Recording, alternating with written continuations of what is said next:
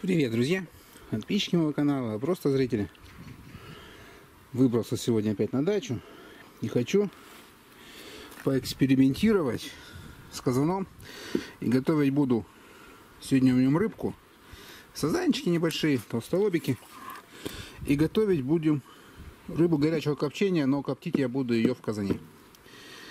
Что из этого получится, не знаю. Просто ради интереса хочу провести такой эксперимент, посмотреть, вообще реально это сделать или нет. То на ютубе смотрю, там что-то люди пытаются. Ну, ну почему попробовать, не попробовать тоже? И уже сделать из этого свои выводы. Рыбки как бы много, вся в казан раза раз не влезет. Ну, сделаем часть в казане, а часть просто в шарабане. И сравним результат, где лучше, чуть хуже, и вообще смысл съесть в казане коптить или нет. Проверим. Думаю, будет интересненько. Рыбку я сейчас Рыбка с морозилки, народ. За ночь оттаяла. Сейчас я ее почищу, помою. И будем подготавливать ее к копчению.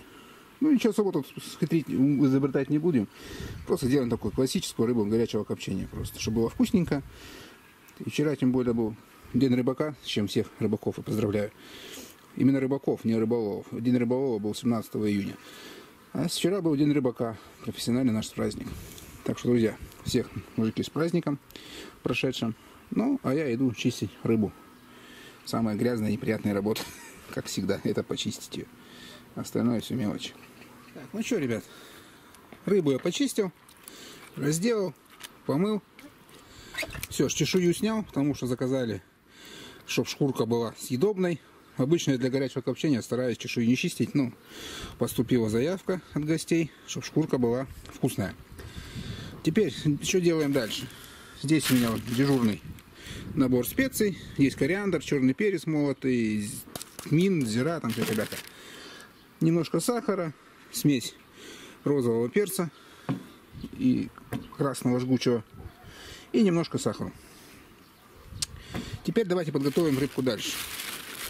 Возьмем, скажем, вот этого сазанчика. Вот, да? Это пока уберу. И смотрите, по шкуре, не до мяса, не до костей. Вот от спинки до ребрышек сделаем неглубокие, ну, примерно вот 2 сантиметра надреза расстояния. Для чего? Для того, чтобы специи, сейчас времени у меня мало, надо было заранее эти вещи делать, но я с работы и просто бы не успел. Оп, кости не режем, иначе мы их перережем, их будет очень сложно есть. Будет целая куча мелких косточек. А так мы отрезаем шкуру, специи туда хорошо попадут наши. И все будет замечательно. И здесь тоже самое, здесь лучше видно, да? Вот небольшие надрезы до косточек. Косточки мы не прорезаем. Не надо их мельчить, кости эти.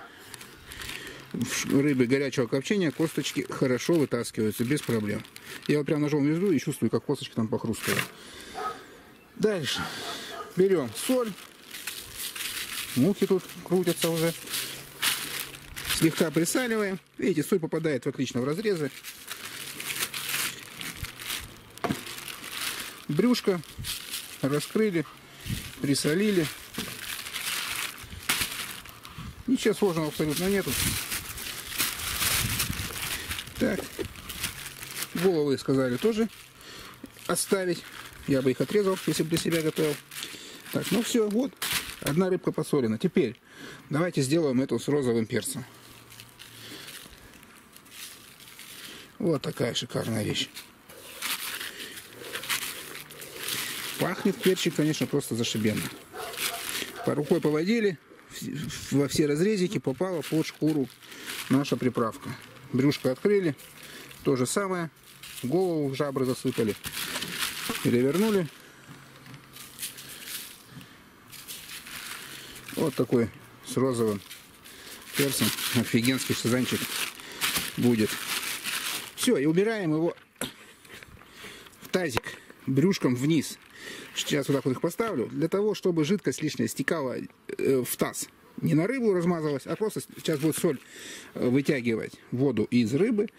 Подвялить у меня ее в данный момент нету времени. Вообще идеально, конечно, там с вечера посолить ее, потом на часов на 5 на 6 повесишь провяжешь, чтобы она обсохла сверху. Ну, это уже такой другой вариант будет.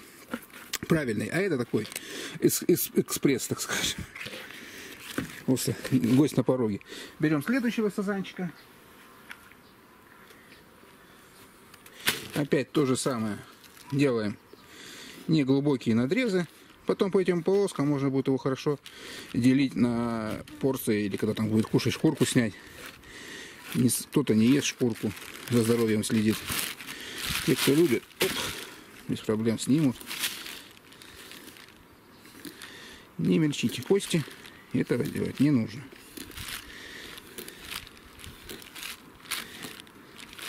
Так, этого опять солим. Ребят, солю мелкой солью. Как для обычного, вот вы солите, там, жарить рыбу дома. Смотрите, в разрезы все отлично попадает. Видите, класс. Брюшко присаливаем также. И здесь этого я сделаю кориандр, тмин, тимьян, черный молотый перец, сухой чеснок.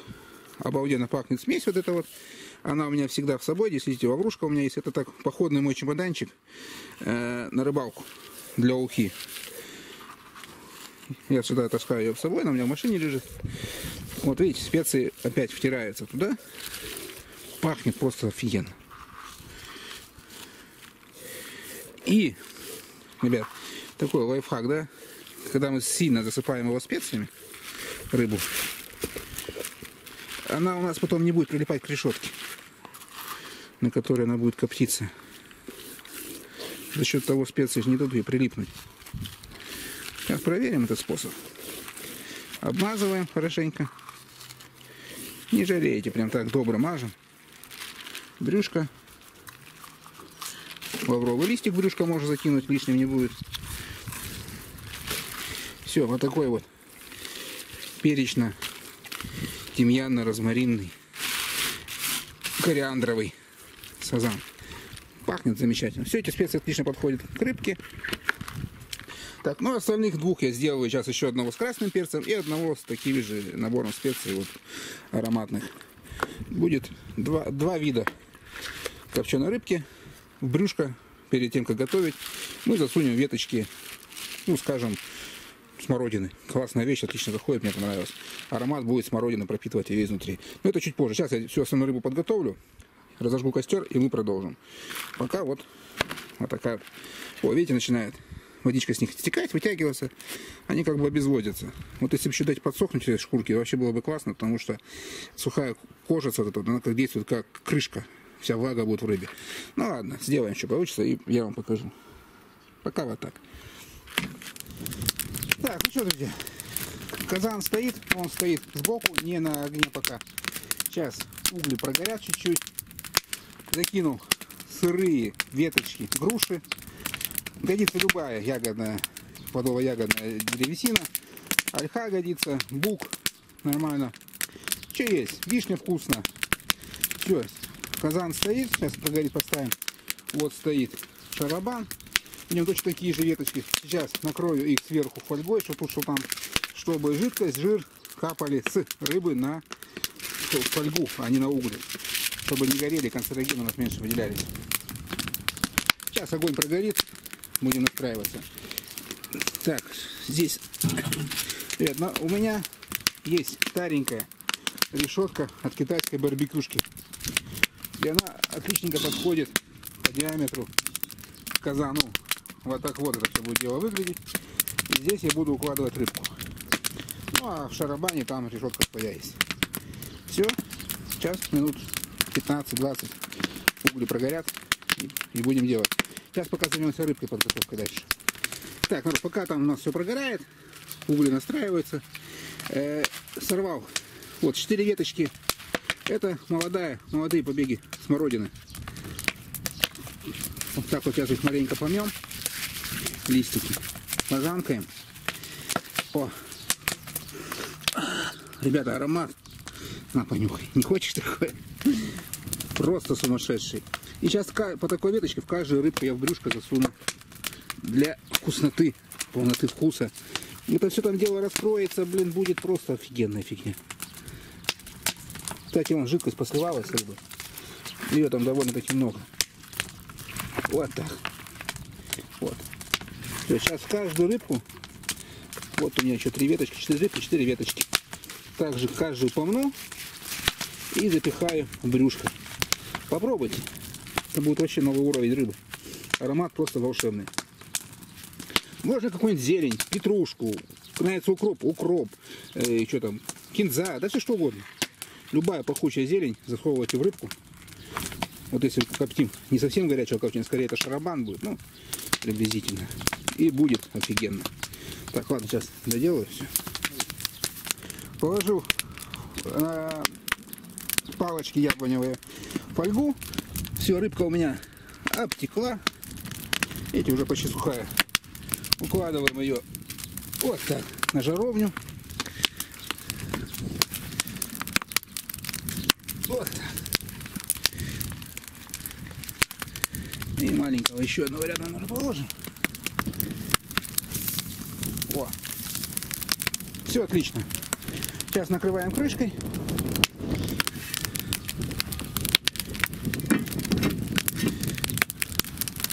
Все. Сейчас угли подвину под э, казан. Нам сильно жар не нужен, нужны угли, чтобы там ничего не горело, а потихонечку, потихонечку дымилось, томилось. Будет классно. Ну и сейчас второй шарабан поставлю тоже прямо на остатки углей. Покажу. Вот, друзья, смотрите. Подвинул под казан угли. Сейчас там еще буквально 5-7 минут он нагреется, они прогорят. И они будут держать жар. Ну, недостаточно не большой, чтобы рыба там сгорела. Ну, как я надеюсь, по моим подсчетам должно быть все окей. И прям сверху, сейчас вот на эти угли я поставлю вот этот шарабанчик свой, старенький, проверенный. Вот еще один шарабан стоит. Видите? С вихревского бачка. Отличная вещь. Тоже работает, так что шарабан, кастрюлю, не знаю, ведро, все что угодно можно использовать для этих целей. Не обязательно заказывать вот такой. Так, ладно, сейчас все ставлю. И засекаем, после установки засекаем 20 минут. Через 20 минут откроем, посмотрим, и там уже по месту сориентируемся. По времени, сколько еще чего делать. Главное, с температурой не, не переборщите. Не нужно, чтобы пламя там прямо офигенное было. Ну что, друзья, смотрите. Огня большого нету. Видите, там потихоньку все тлеет. Ну, судя по тому, что из-под крышки выбивается дымок, из-под этой, из-под этой. Процессы запустились и процесс приготовления, копчения, запекания. Тут такой смешанный процесс.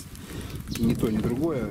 И не копчение, и не запекание. Ну, чтобы шарабан, да и все одним словом. Готовится.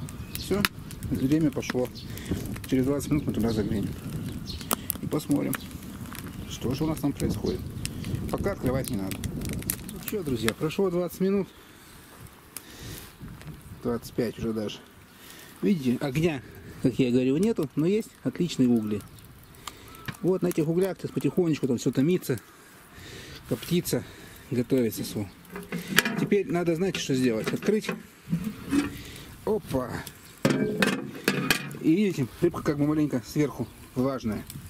Выглядит, кстати, неплохо, и он хвостик уже кипит, прогрелась. Обсушите ее минут на 10. Смотрите, что здесь происходит. Вот это он казан. Слушайте, а запах, блин, вообще просто бомбический. Честно отвечаю, прям вообще, ребята. Смотрите, красота. Все, даем. Вот, видите, он кипит. В разрезах видно. Ну, где спинка там толстовата, еще там нет, а хвостик он фулькает. Шкварчит все. В принципе, все идет отлично по плану. Но сейчас на 10 минут оставляем ее в таком состоянии, чтобы она обсохла, подсохла. И потом еще на 10 минут накроем крышкой и уже будем доводить до готовности. Сейчас она, я еще думаю, может быть даже маленькая сыроватая. Хотя хвосты кипят, но спинка еще нет. Все, ждем. Вот смотрите, как получается. Вот, смотрите. 10 минут прошло, буквально 10 минут, достаточно. Ветерок дует, шкурка сверху отсохла, даже видно, что она, знаете, подсохшая такая стала. Все отлично. Все, накрываем снова крышкой. И еще на 10-12 минут буквально и будет готово. Так, ну что, друзья, время вышло, на все про все ушло 40 минут ровно. Смотрим. Опа, крышку поставить. Вставает, пускай. Ну как? Кому как, а мне очень нравится. Жалко, вы не чувствуете, как это все пахнет. Видите, все кипит. Вот даже в спинке вот запах э, булькает жидкость. Рыбка полностью пропеклась. Прокоптилась. Волшебно пахнет аромат. Сумасшедший. Посмотрим, что в этом шарабане. Оп. Ну а здесь все в принципе то же самое. Как видите, разницы в внешнем виде никаком. Что здесь, что в казане рыбка получилась просто офигенная. Класс. Пахнет специей, просто вы не чувствуете. Жалко, жалко, жалко, что камеру до сих пор не придумали, который запах ей передает. Ну, рыбы, в принципе, карп, сазан. Общедоступная, можно купить и приготовить у себя на даче. В всяком случае, вообще без проблем. Такую красоту пахнет обалденно. И самое главное, температурный режим. А то мы как она жарят, черноту показывают сгоревшую. Зачем? Рыба должна быть вот так. Вот просто сейчас, на мой взгляд, она идеальна. Сейчас я переложу ее на блюдо. Рядом зелени кину. И покажу, что получилось. Финал всего вот этого дела. Вот такая рыба. Сазан горячего копчения в казане. Казан, который, кстати, все хаяли, что он до сих пор пишет в комментариях гадость, что плохой казан. Ребят, казан отменный. Все работает, все нормально. Приложите руки и из любого говна можно сделать конфетку. А гадости писать в комментариях много ума не надо. Сейчас выкладываю. Собаки соседские услыхали. Запах вкусной рыбы и заливать тоже хотят. Все, ребят, смотрите, кладем большое блюдо. Опа. Укладываем листики. Достаем. И сейчас покажу уже результат. Рыбка маленько постояла. Еще минут 5, наверное, 7. Чуть-чуть подостыла. Совсем горячую, прям с пылу жара. Лучше не снимать, она у вас может развалиться. Так, сейчас. Многие начнут уже там пишут кирдык казану или что-нибудь подобное. Ребят, ничего подобного. Видите, фольгу мы подстелили. Всякая бяка капала сюда. Оп. Вот что с казаном. Сейчас он остынет, горячий. На. Без проблем. Вот это вот ржавчина, это натекло. Это не ржавчина, это пролилось с фольги, жида, жира. Сейчас рыбу вытаскивал. Чуть-чуть, он маленько прилипло, бачок один. И налил, и она быстренько прикипела сюда. Но я думаю, это не критично. Сейчас он остынет. Возьму просто тряпку влажную, промою его, смажу маслом и уберу. Так что смотрите, это еще не конец приготовления в этом казане. Будут и другие видео. Казан работает.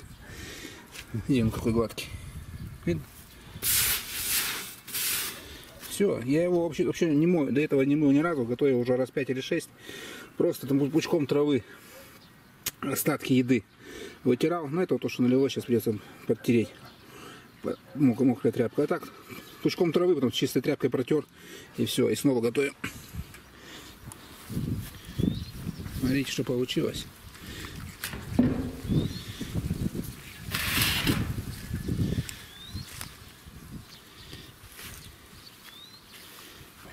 Солнце. Красивую превьюшку. О, зацените.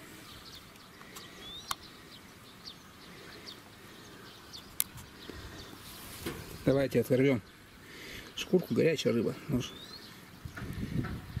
Смотрите.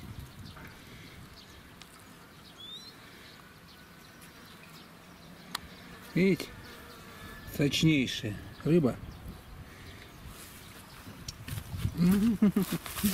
Блин.